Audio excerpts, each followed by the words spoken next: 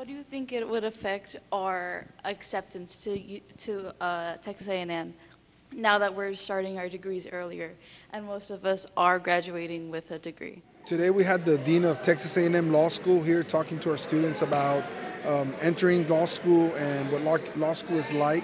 One of the things that we told the students was that a lot of students don't get to talk to deans of law schools until they're in college. And so for our students to get that opportunity, sophomores, juniors, and seniors in high school, we think that it gives them that competitive advantage when they decide to apply.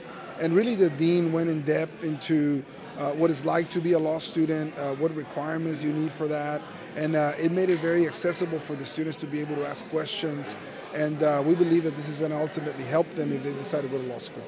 I think the creating opportunities for the students to see in action what it looks like to be a lawyer, to be a judge, to be a law enforcement officer of all sorts, the, uh, to be a professor or a dean or whatever else it is.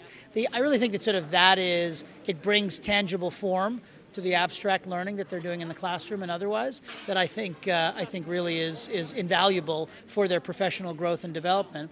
I will say for me it's an honor in the sense of you know people oftentimes my children's teachers will say to me oh you're a teacher too and I say listen I'm a teacher too but I'm dealing with them by the time when it's sort of too late to have too much of an impact.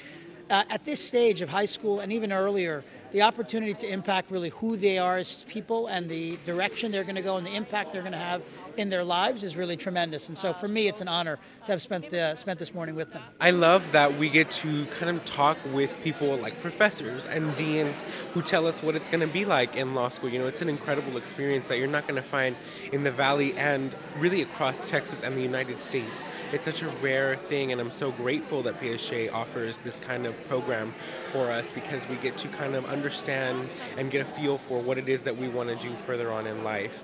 You know, and today when I was asking those questions, you know, I wanted to know what basically what it is like to go to law school and what it is like to, you know, be a lawyer. And that I feel like those answers were that. This is very innovative. This is cutting edge. I'm already talking to uh, Mr. Zambrano about growing this same program, taking this model to neighboring districts. And it's not just for pre law or pre law enforcement. The district has seven or eight fields where they're exposing young people to different areas, areas that may interest them, which in turn may motivate them to continue studying and working towards their goal. It's a beautiful thing. Students need to understand they have a wonderful opportunity here at PSJA. They just need to follow their dreams. And, you know, if this is what they like, follow it, stay with it.